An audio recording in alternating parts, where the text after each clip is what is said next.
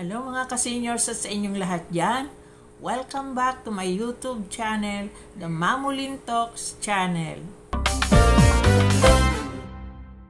Ito na naman si Mamuli na nagbibigay ng mga practical tips para sa mga seniors. But this time, this is not only for the seniors, but also for the Gen Z, Gen X, and the millennials.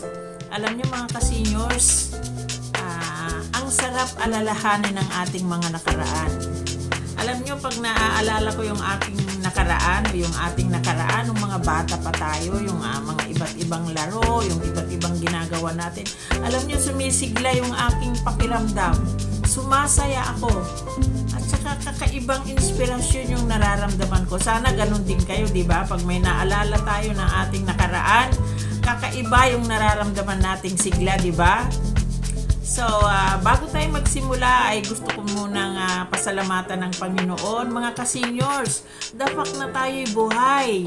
Dapat na tayo nagising. Ito ay pagpapala mula sa Diyos. That's why, lagi kong sinasabi na every day is a miracle day. Alam nyo, ma- marirealize lang natin ang kahalagahan ng isang buhay o yung buhay natin pag nakaratay tayo ako naranasan ko na I almost died because of the COVID-19. I was uh, contracted by that uh, severe COVID uh, with pneumonia. At alam nyo mga ka-senior, 72 hours na lang ang sinabi ng doktor na itatagal ko sa mundong ito. But God spared my life kasi mayroon pa akong purpose, mayroon pa akong mission. And one of my missions ay lagi kong sinasabi is to vlog to reach out to the seniors kagaya nyo, kagaya natin, kagaya natin lahat. Now, we are now in the last chapter of our lives. Kaya, ano, sabi ko, Lord, ano pa pwede kong magawa? Kasi, ano, we are, uh, dito lang tayo sa, sa bahay, hindi tayo makalabas because of our age.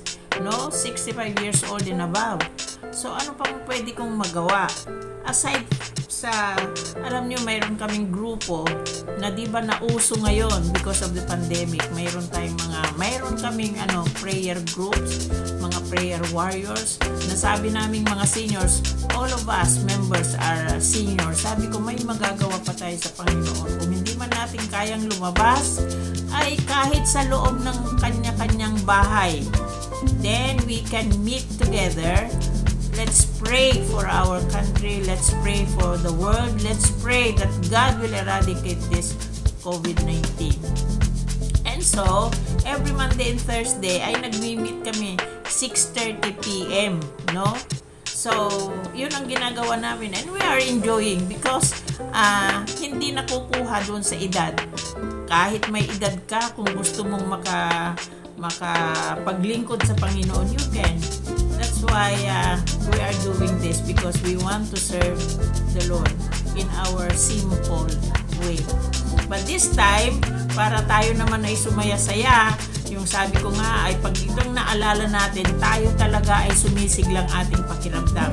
And today, ang aking ibabahagi ay yung ating nakaraan. Ah, pag-alala sa ating nakaraan. Isa sa mga isi-share ko sa inyo ay yung uh, sino ang nakaranas na sa inyo na ano na ang ilaw ay isang ano isang yung ilawan na lampara ba yun ang tawag doon. Alam niyo nung maliliit kami kahit na nung nag-aaral kami ewan ko nakakapag-aral naman tayo no nakakapag-review tayo sa ating mga test ano yung lampara ba yung bote lang na garapon tapos may nilalagyan namin ng gas o petroleum ang tawag doon. May pabilo. So you, as you can see in the, uh, in the picture no? And then sisindihan. Yun na yung ilawan namin. So yun na yung magdabag. Kung ako'y mag-aaral magwi-review yun pa rin yung ilawan namin. At yun nga lang kinabukasan ay puro itim na yung yung, yung ilong mo pero walang nagre-reklamo noon kasi hindi naman natin alam o hindi ko naman alam na uh, one of these days ay halos lahat na ay mayroong kuryente sa bahay. Pero during those days, di ba, ang dilim-dilim sa bahay pero hindi natin na nare-realize na madilim pala yon.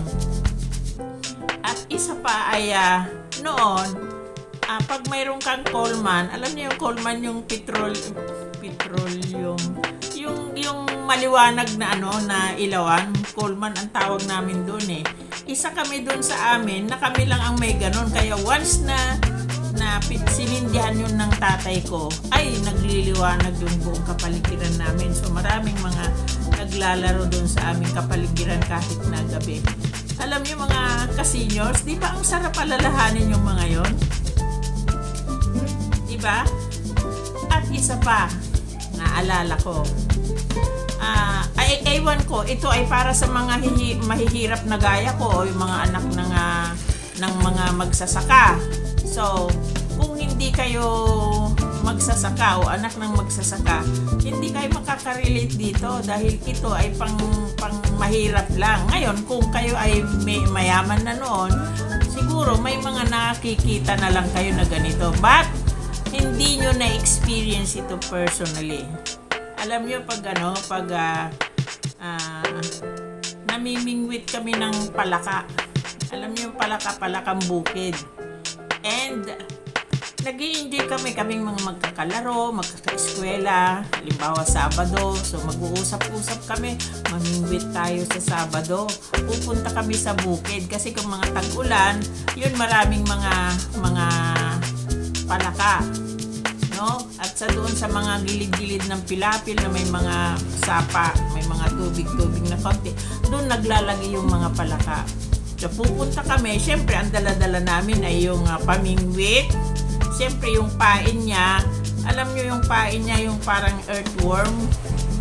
Yun, uh, ibibilog namin yon tapos ilalagay namin doon sa dulo ng ano yun ang yun ang bababa doon sa kinaroroonan ng palaka at pag kinagat nila yon ay tsak na huli siya at mayroon kaming kanya-kanyang dalang supot so padamihan ng mahuhuling mga palaka at malinis yun kasi bukid yun eh. Palakang bukid. So alam nyo ba, hindi naman basta-basta ma matatanggal ang balat nun kung hindi mo alam ang sikreto. Alam niyo ang sikreto? Ay, alam ko, alam niyo yun eh. Ano? Pagbabalatan mo yun, di tatanggalin mo yung ulo. Oh my gosh. Tatanggalin mo. Parang ngayon, parang hindi ko na kaya. Pero noon, pumapatay ako ng, ng, ng palaka na gano'n tatanggalin yung ulo pero hindi ihihiwalay lahat. Kukuha ka ng abo. Yung abo, once na dumikit na dun sa balat ng palaka, tanggal na lahat yung ano, yung balat nun. At pag natanggal na, syempre lililisin mo, alisin mo yung bituka, ganun, tatanggalin mo yung mga dali-dali ng paa, ng kamay niya, ganun.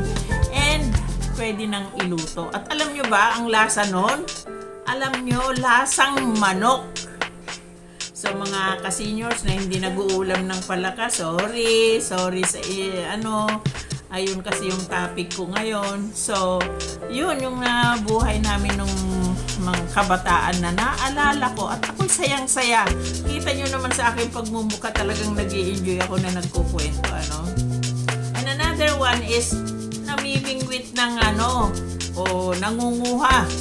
Kasi hindi man bingwit sa may sapa, ito naman ay pwedeng hulihin doon sa bukid. Alam niyo yung bukid, halimbawa taniman na oras na ng taniman, medyo may tubig-tubig yon ano? So, pag yun ay medyo tumagal-tagal na mayroon tubig, mayroon ng mga mga dalag, marami pang dalag noon eh, dalag, hito. Alam mo may ginagawa yung tatay ko na patibong para pag uh, andun sila sa sa isang uh, daluyan ng tubig, pag yung sa pababa nung ano nung daluyan na yon yun pala ang mga ang mga uh, isda. Pag maramdaman nila na medyo pababa yung daloy ng tubig lulukso sila. So ilalagay ng bitag ng tatay ko yung doon sa paglukso sushoot doon sa doon sa pinaka net o pinaka fish net o kaya pinaka pain ng ng tatay ko. Tapos madaling araw dahil darating na sila, may dala-dala na yung, yung, yung tawag doon sa lagay ng isda doon sa likod na itinatali ay eh, alat, ganun. So, punong-puno na yon So, dalag at sa kahito, malilinis din yon kasi sa bukid yon So, mga ka-seniors, uh, ilan lang ito sa mga naaalala ko na pag na, naiisip ko yung mga yon parang andun ako sa panahon na yon So alam nyo, yung mga memories na yun ang hirap makalimutan. Yun ang mga precious sa atin, yung memories natin. Hindi natin nakalain nung panahon natin noon. Ay, tatanda pala tayo ng ganito katanda. So, alaala nang lumipas na lang yung ating uh, inaalala and we are enjoying it. Like for instance, ako, nag enjoy ako nung nalaman ko ito kaya uh, nag-research pa ako ng ibang mga karanasan ko noon na gusto kong i-share din sa inyo. So, this time, uh, alam ko na lahat ng mga ito, alam nyo, ang Panginoong Diyos ay Diyos ng, uh, He is the God of all generations. No? Kung ang generation noon, generation X, so siya pa rin ang Diyos. Kasi siya nga nagsimula, siya nga nag-create ng, ng ating mundo eh. So, ang ating Panginoong Diyos, siya ang Diyos ng lahat ng henerasyon. O mga ka-seniors, naalala nyo rin ba ang mga nakaraan? Di ba? Ang sarap-sarap alalahanin ng ating nakaraan. So, uh, ito mga ka, mga ka-seniors, mga lolo't lola, at uh, saka yung mga nasa tabi nyo kasi alam ko ang mga katabi nyong mga anak nyo ay yung mga millennials, ang mga apo nyo ay mga Gen Zs. So, matututo sila dito at maaaring magulat sila, magtaka. May ganun pala ng buhay ng mga nakaraan ng ating mga lolo't lola. So, yung mga walang uh, karanasan na ganito, lugi kayo dahil wala kayong alaala na inyong alalahanin sa ngayon. So, uh, let's also remember, let's also remember that God is a God of all generations. To end, mga ka-seniors, mga lolo't lola, mga Gen Zs, gener Generation X, and even the millennials. Siyempre, tayo ang bida dito, the baby boomers, ay uh, ipinapaalala ko lang ang ating mga nakalipas, ang ating mga nakaraan na ang sarap-sarap gunitain. But we should always remember na kahit noong unang panahon at hanggang sa panahon ngayon, God is the God of all generations. I just want to read Psalm 33 verse 11. It says here, But the plans of the Lord stand firm forever, the purposes of His heart through all generations. So, kahit noon, ngayon, at magpakailanman, God is the God of all generations. So, seniors, don't forget to like, share, comment, and subscribe. and bye-bye.